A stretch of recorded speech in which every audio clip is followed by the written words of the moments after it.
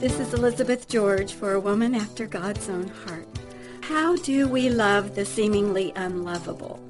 A good place to start is prayer, a prayer of confession, confessing to God the unlovely thoughts about those unlovely people He's put in your life. Let's face it, it's partly attitude. Ask God for His help in getting the right attitude, an attitude of love.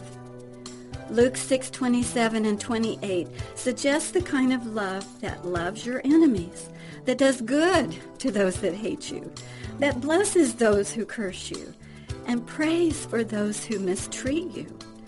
God wants to do that for you and through you. Open yourself to receive from him his endless supply of life-giving love. This is Elizabeth George.